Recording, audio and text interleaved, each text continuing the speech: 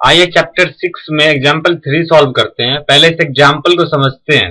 Figure 6.16 में एक relation दिया हुआ है P S upon S Q is equal to P T upon T R और angle P S T is equal to angle P R Q तो हमें proof करना है कि ट्राइंगल पी क्यू आर एक आइसोसलीज ट्रायंगल है। आइए इस क्वेश्चन का सॉल्यूशन करते हैं। From question Q is equal to P T upon T R Therefore, ST is parallel to QR from theorem 6.2.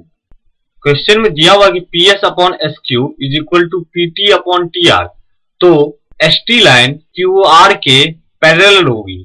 Theorem 6.2 से। थ्योरम 6.2 में हमने पढ़ा था कि अगर कोई लाइन ट्रायंगल के दो साइड को इक्वल पार्ट में डिवाइड करती है तो वो लाइन तीसरे साइड के पैरेलल होगी। ये थ्योरम 6.2 का स्टेटमेंट है।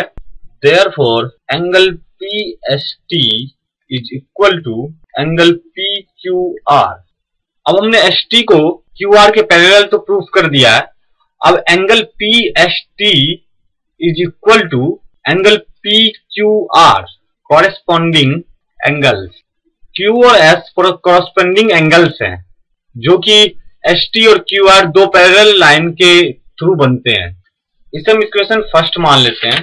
फ्रॉम क्वेश्चन क्वेश्चन में दिया हुआ है कि angle P S T is equal to angle P R Q from equation one angle P R Q is equal to angle P Q R question में relation दिया हुआ था angle P S T is equal to angle P R Q हमने angle P S T को P Q R के equal किया है तो angle P Q R angle P R Q के इक्वल हो जाएगा।